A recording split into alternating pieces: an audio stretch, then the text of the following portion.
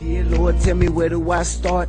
Let me take this breath before I speak from my heart. Let me talk to him, help me lead him out the dark. Let me show him all the pain, the hopes, and the scars of these kids trying to do their part. They want to do good, Lord, they want to go far.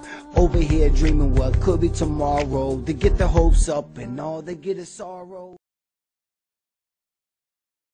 that there is a body of law that makes it very clear and convincing that undocumented immigrants, in fact, do have rights.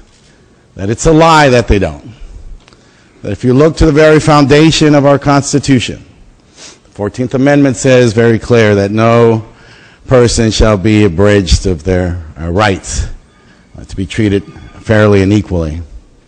And every economist I talk to says that by 2025 we are going to be missing 1 million people from our economy who have BAs and BSs, who have bachelors of arts and bachelors of science. We'll be missing because of the demographic changes that are taking place. I rise today in opposition to this bill, but I do so with a heavy heart.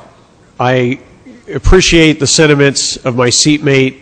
I understand the unintended consequences of what is going on where you have people who are brought here through no will of their own.